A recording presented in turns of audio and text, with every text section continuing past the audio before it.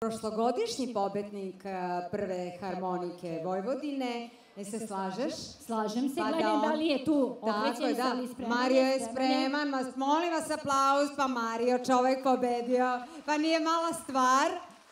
Prsti mu zagrejani, harmonika vruća, melodija spremna i uvežbana Mario Milenković. Mario, izvoli i da zvanično i otvorimo ovako večerašnje druženje. Izvoli. I dobrodošli svi na šesti festival Zlatna dirka Prva harmonika Vojvodine.